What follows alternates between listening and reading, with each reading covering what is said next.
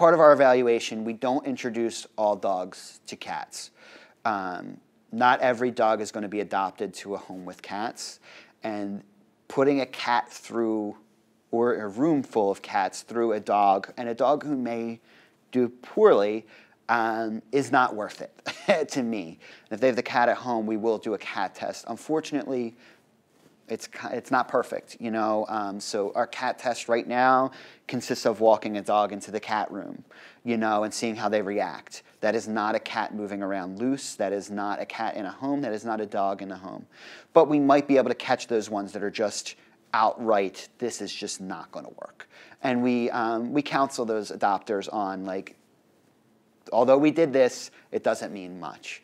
Um, and you want to make sure that if you see anything bad that you contact us or if you're concerned, obviously you can bring the animal back. Um, but that this test isn't like we're saying stamp of approval, this animal's good with cats.